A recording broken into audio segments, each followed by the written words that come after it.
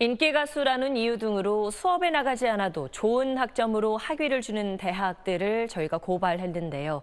교육부 조사 결과 사실로 확인됐습니다.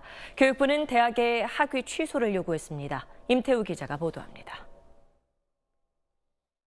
2011년 전남 동신대의 재학생 명단입니다.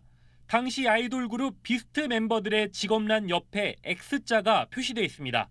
수업에 나오지 않았다는 걸 표시해 둔 겁니다. 수업을 받을 수 없는 애들 학교를 안 나온다는 들었어요. 동신대는 서울과 약 300km 떨어져 있어 정상적인 출석이 어려웠을 텐데도 4명 모두 졸업해 학위를 취득했습니다.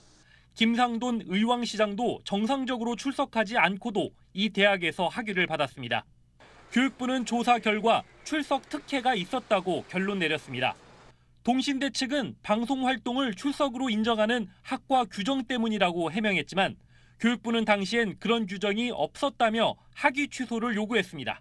학칙에 근거하지 않고 학과 내부에서 그냥 그렇게 방침을 만든 거잖아요. 외부 로펌 등의 그 다 법률자문을 거쳤는데 그거는 무- 당연무효에 해당한다라는 결론을 얻었습니다.